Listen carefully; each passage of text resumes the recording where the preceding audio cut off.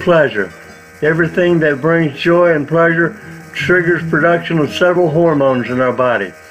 They are feel-good hormones in our brains and body.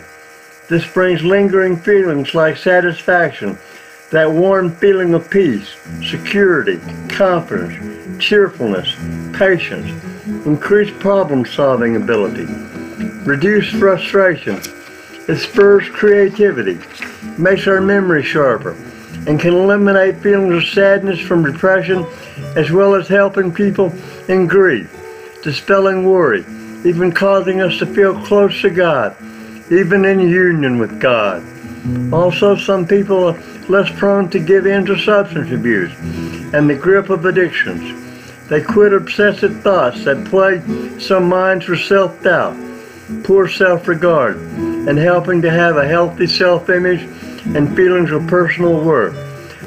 The pleasure hormones stimulate the autoimmune system, making us more robust and less susceptible to allergies. Also, we have the ability to withstand stress and pressure in our lives, including having more stamina. They will reduce blood pressure as well. We need a wide variety of pleasures to be healthy and well-rounded.